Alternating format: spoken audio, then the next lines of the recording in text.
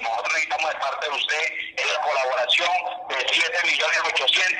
No, yo no estoy en condiciones de hacer ese aporte. No colabora correctamente. Tiene 24 horas a partir del momento. No las queremos ver más aquí en el municipio a partir del momento, ¿correcto? Estos son algunos de los mensajes con los que se está extorsionando a la comunidad de Ituango. Las autoridades recomiendan denunciar.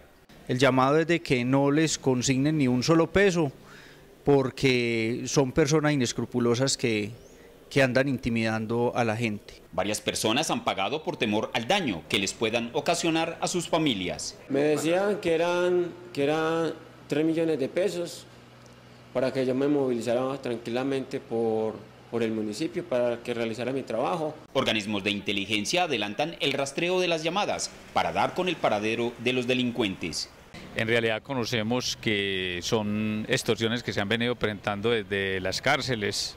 Actualmente se realizan campañas en los medios locales con el fin de invitar a la comunidad a denunciar. Desde Ituango informó Wilson Cartagena para Teleantioquia Noticias.